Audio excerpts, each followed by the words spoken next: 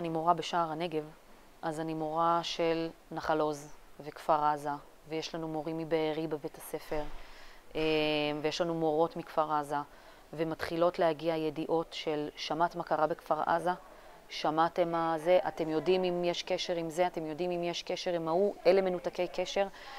והדבר שהיה לי מאוד קשה זה שיש לנו אה, מורה מיתולוגית כזאת בבית הספר לתנ"ך ולספרות, שהייתי עובדת אליה מאוד מאוד קרוב.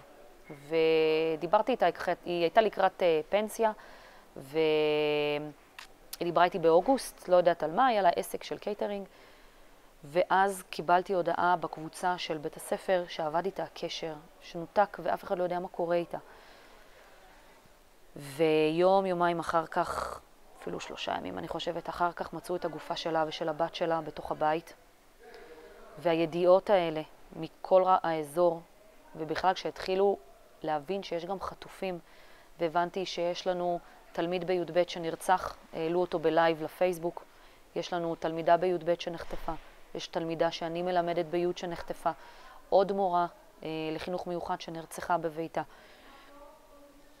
הידיעות האלה אה, היו מאוד מאוד מאוד קשות, וזה התחיל הכל ביום, באותו שבת. זה נהדר, לא יודעים מה קורה איתו, ההיא לא יצרה קשר, אה, מנותקי קשר, זה, זה היה נורא. ואני כל היום מקבלת הודעות, גם בקבוצת וואטסאפ של הקיבוץ עצמו. אה, אתם שומעים עוד פעם יריות, שמענו יריות, מישהו יודע מה קורה בחוץ. אה, משפחות שנותק איתן הקשר בתוך הקיבוץ בגלל שאין חשמל, משפחות מבחוץ שנורא נורא מודאגות. יש לנו אימא שגרה אה, בזיקים עם הבת שלה, שההורים שלה הם מניר עוז, והבת שלה הייתה בניר עוז באותה שבת אצל הסבים. ואף אחד לא יודע מה קורה איתם, ו...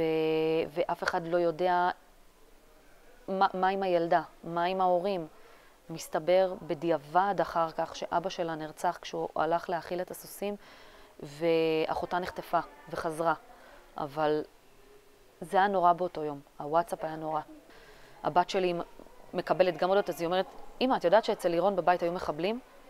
ואני אומרת לה, איך לא יודעים באמת מה קרה, ובואי, אל תאמיני לכל מה שכותבים לך ושולחים לך. לא הייתי פנויה להתעסק בזה, לא הייתי פנויה אה, לעשות שום דבר בעניין הזה, פשוט הלכתי כל היום. והטלוויזיה, העניין הזה שהחדשות היו כל הזמן דלוקות שם, אה, זה היה מאוד קשה, כי כל דבר שקרה מיד ראינו. אני הייתי מחוברת לאפליקציות של החדשות בטלפון, כל שנייה בודקת לראות מה קורה. אה, לא, לא הצלחתי להניח את, ה, את הטלפון, גם בלילה. לא הצלחתי לישון. נרדמתי לחצי שעה, התעוררתי לבדוק מה קורה. נרדמתי עוד פעם, התעוררתי עוד פעם, שוב, לקחתי את הטלפון לראות מה קורה, אם יש חדש. אה, פשוט חרדה שליוותה אותי לפחות בשבועיים, שלושה הראשונים. בקושי אוכלים, בקושי ישנים, מתעוררים כל שעה, שעה וחצי לבדוק מה קורה, האם מנותקי קשר, חזר איתם הקשר. אה, גיליתי שתלמיד שחינכתי שנתיים נרצח עם כל משפחתו בכפר עזה. אה, ידיעות שהן בלתי נתפסות. אה, הפייסבוק מפוצץ בידיעות של מישהו שמע מה קרה עם אימא שלי, מישהו ראה... הסבתא של השכנים שלנו, אימא של שכן שלנו, שנרצחה בכפר עזה.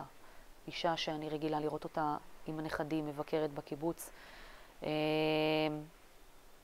פשוט נורא.